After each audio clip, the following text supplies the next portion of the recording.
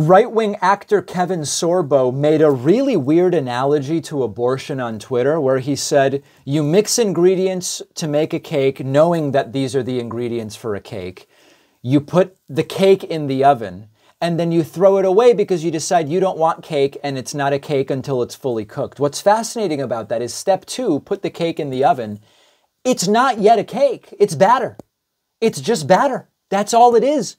Nobody would say, if you have uncooked cake batter on the counter, that that's a cake. I don't know anyone that would. It's a bizarre analogy and just the latest in a very strange series of tweets from Sorbo. Weird dude.